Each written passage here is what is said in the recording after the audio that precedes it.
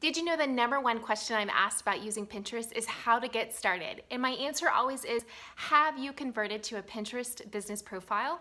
If not, then that is the first step that you need to take. In this video, we're gonna be talking about how you can craft a keyword-rich Pinterest profile.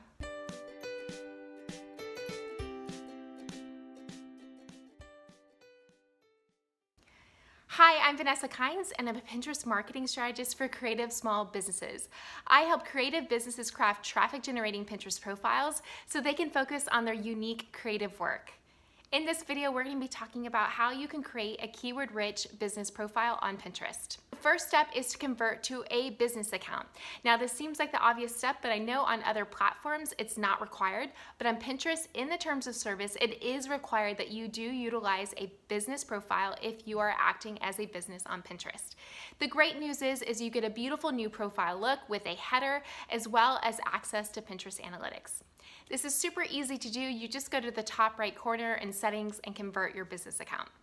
The second step is to use your Pinterest profile image. Now, I recommend that you keep your image consistent across all different platforms. So if you're utilizing your face and you are the face of your brand on Instagram and on Facebook, then go, to, go ahead and utilize the same image on Pinterest. This is gonna create brand continuity.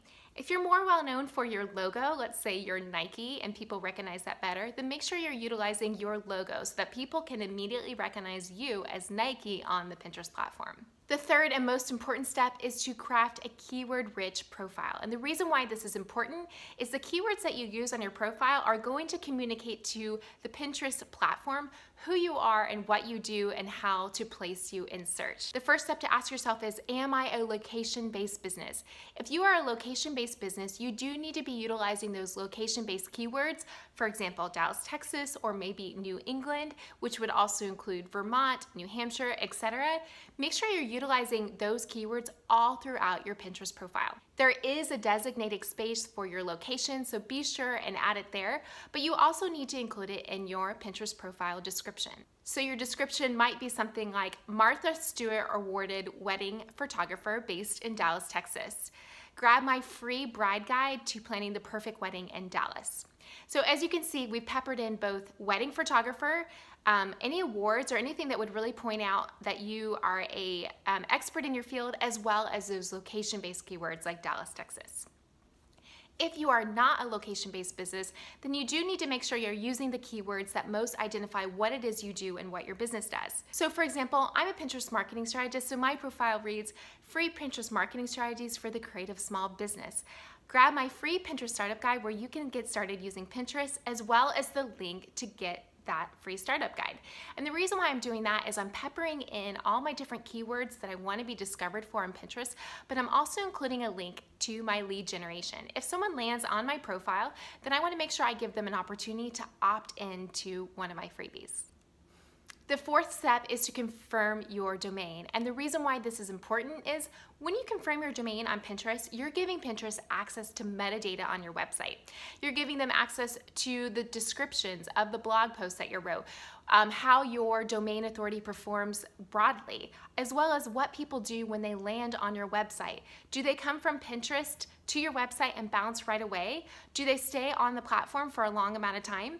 These are the types of things and data that you can give the Pinterest platform when you confirm your domain. Now, this is not as easy to do as converting to a business profile, so you do need to go into the blog post that I wrote and click through and add the code to your header tag.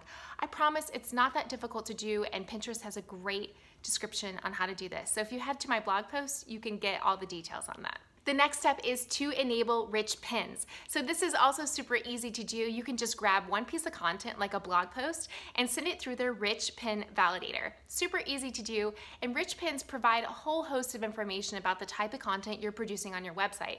It can tell you if your content is a blog post, if it is an article, or if it is a recipe, or if it is a product. And product pins can pull information such as quantity, or price. So it's super important to activate rich pins. And again, if you need more information on that, you can visit the blog post for this video, click through and go ahead and validate your rich pins. The sixth step, and I mentioned this earlier, is to include a call to action.